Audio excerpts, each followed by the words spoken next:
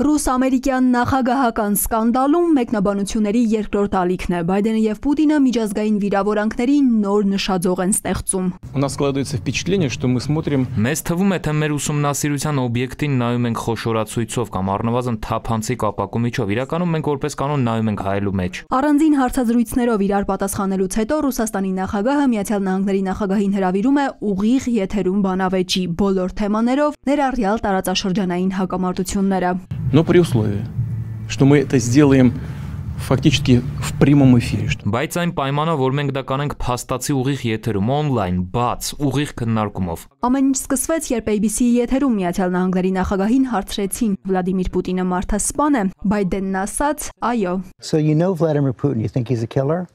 I do. Кто как обзывается, тот так и называется. Սեղանին միջուկային ամենախոշոր գերտերությունների հարաբերություններն են, որոնք պայմանավորում են գործընթացներ ամբողջ աշխարհում։ Անի Ավետյան, ժամը լրատվական։